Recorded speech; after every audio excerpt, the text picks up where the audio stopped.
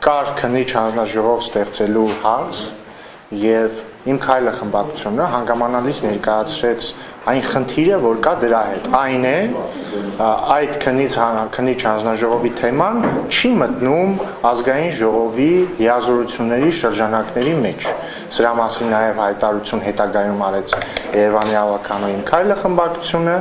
եւ եւ իրավական տեսանկյունից եւ տրամաբանական տեսանկյունից այդ քննիչ հանձնաժողովը խնդիր կստեղծեր, որովհետև խնդիր կստեղծեր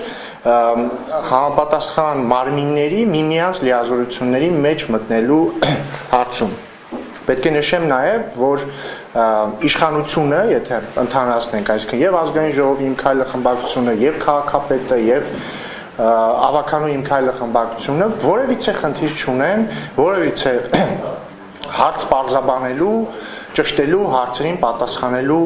վերաբերյալ եւ Լուսավոր Հայաստանի մեր գործընկերները, Բարգավաճ Հայաստանի մեր գործընկերները ազատ են համապատասխան գործընթաց նախաձեռնել Երևանի ավականում եւ Երևանի ավականային քայլը խմբակցությունը, որքան որ ես եմ տեղյակ, լիովին կաջակցի իրենց այդ հարցում եւ քաղաքապետն էլ պատրաստ է ավականու շրջանակներում, այսինքն ավականու լիազորությունների շրջանակներում մասնակցել այդ գործընթացին։ Սա է հարցի բովանդակային մասը։ Հարցի ոչ բովանդակային մասն այն է, որ մեր սիրելի գործընկեր Էդմոն Մարուկյանը աստորեն ուշադրության պակաս ունի եւ փորձում է իր պնդումների բովանդակազրկությունը լրացնել սկանդալներով եւ այլն եւ այլն։